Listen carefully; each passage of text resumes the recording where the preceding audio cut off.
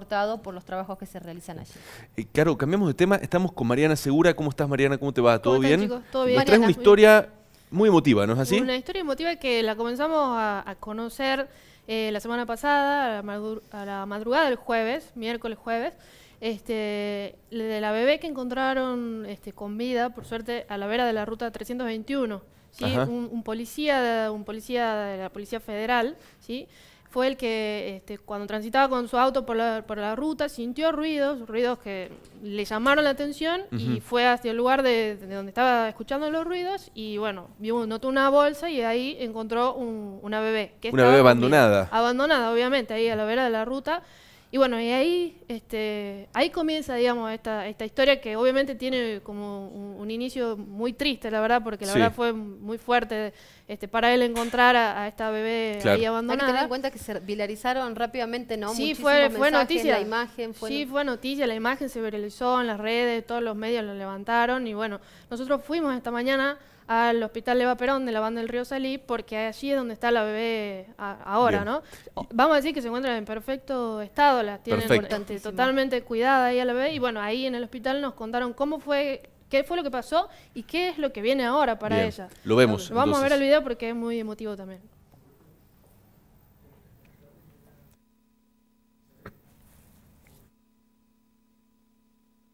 Bueno, la bebé en realidad, este, según referencias de la gente que la traslada, fue abandonada en la ruta, eh, en una bolsa, la, encuentra un policía de la Policía Federal y él hace, bueno, todas las, las denuncias pertinentes, la lleva al hospital de Lules.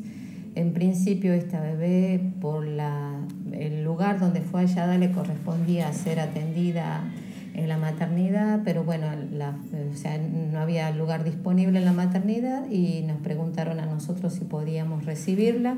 Aquí había lugar, entonces se la recepciona. En realidad, eh, cuando la encontraron, la bebé estaba llorando, o sea, por eso es que escucha el sonido eh, quien la encuentra.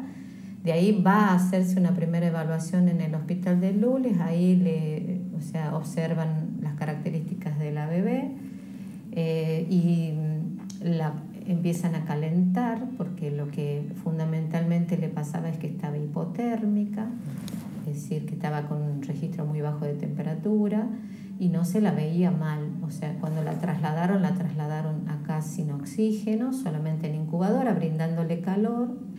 Al examen físico lo que la bebé impresionaba era una bebé recién nacida, ¿no? O sea que no tenía muchas horas de vida porque todavía tenía un cordón que se lo veía como recientemente cortado. Este, está estable, digamos. La bebé está muy bien, la bebé está muy bien, eh, todos sus análisis han dado bien, eh, está alimentándose y bueno, ahora estamos este, esperando ya las resoluciones judiciales. Gente que ha venido, ha venido a, a hacer donaciones para la bebé, eh, pero no se ha presentado nadie eh, argumentando ser familiar ni eso. ¿Donaciones de qué tipo? ¿El, el- el hospital las pidió o la gente No, no, la gente espontáneamente vino a traerle pañales, ropita.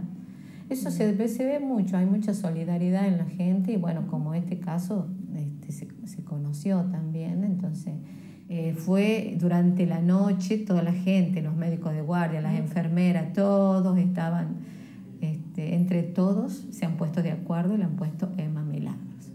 ¿Se encariña la, la gente acá, las enfermeras? Oh, todos. sí.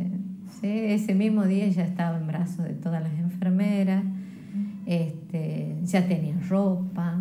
eh, y bueno, porque sí, son bebés pequeños este, que no pueden hablar, ¿no? Claro. Entonces todo el mundo se encariña ya con ellos. Yo al otro día, cuando ingreso el día jueves a la mañana, a las, ingreso a las 7 de la mañana, ya la veía que estaba en brazos de una enfermera, de otra, de otra. ¿Y cómo se porta? ¿Llora mucho a la noche? No, se porta bien.